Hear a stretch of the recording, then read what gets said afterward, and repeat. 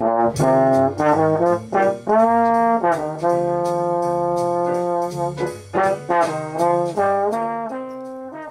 my name is Dave Wilken. I'm the coordinator of jazz studies at the University of North Carolina at Asheville, a freelance trombonist, and I have what many people think is a very unusual looking embouchure.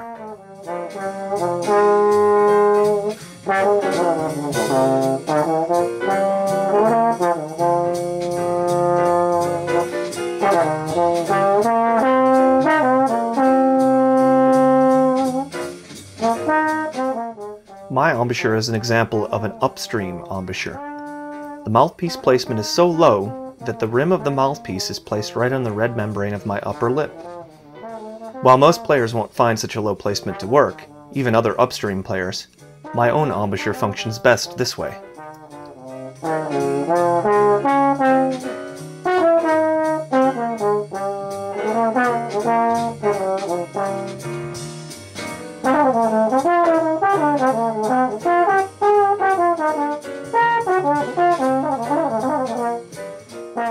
What exactly does it mean to have an upstream embouchure though?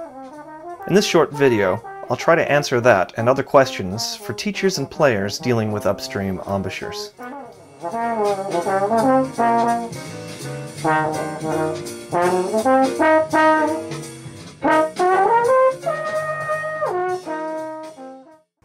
Before discussing the upstream embouchure, there is one important point that should be understood.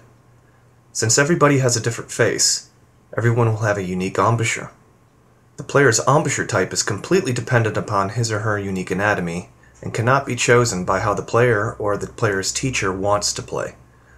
Every brass player will have one unique embouchure that will work best for the individual. Deviating from what the player's physical characteristics dictate will result in an embouchure that requires more effort to play, technique hurdles that can't seem to be overcome, and sometimes a complete embouchure breakdown after years of moderately successful playing.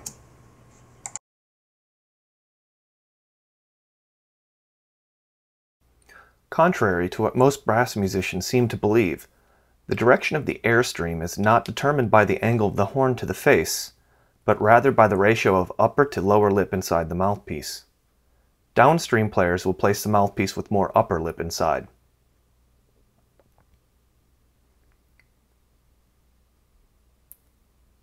The lower lip predominates inside the mouthpiece with upstream players.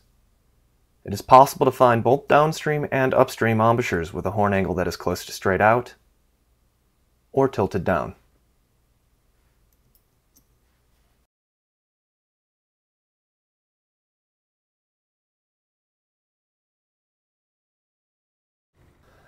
There is a phenomenon that can be observed in all successful brass players that, for lack of a more descriptive term, I'll be calling an embouchure motion in this video.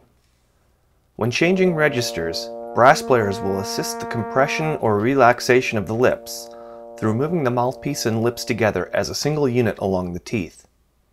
It's important to notice that the placement of the mouthpiece upon the lips doesn't change, only the relationship of the mouthpiece and lips to the teeth.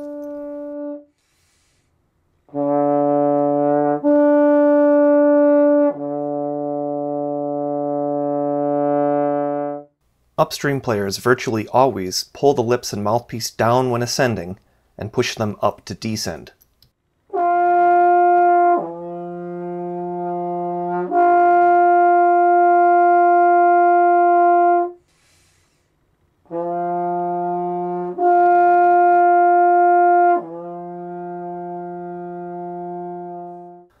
Downstream players can either do the same or the exact opposite pushing up to ascend, depending on the individual, so watching a player's embouchure motion alone won't determine if the player is upstream or downstream.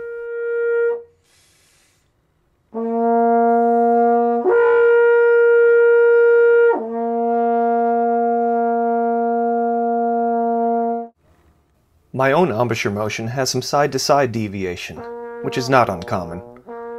I pull down into my left to ascend, and push up into my right while descending.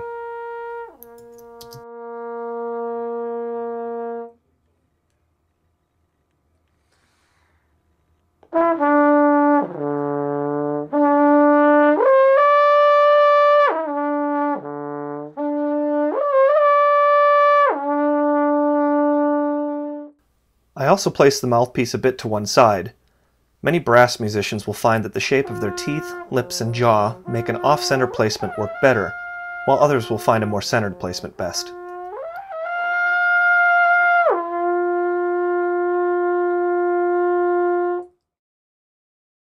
It is possible to play any brass instrument with an upstream embouchure, provided that the player has the anatomy that makes him or her best suited for one.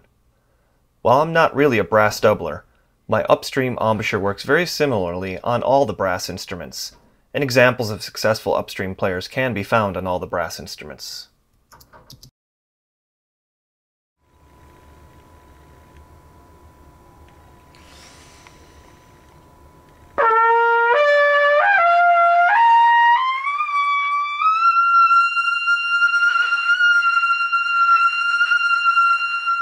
Upstream trumpet players are fairly common, particularly in jazz.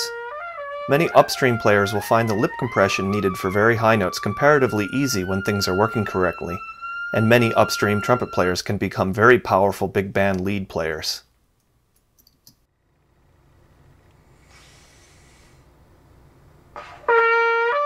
Just as on trombone, my trumpet mouthpiece placement works best with the rim placed on the red of my upper lip. It doesn't feel uncomfortable, give me endurance or range problems, and moving the placement off the red simply doesn't work for me. Again, most upstream players won't find such a low placement best, but my own anatomy precludes anything else.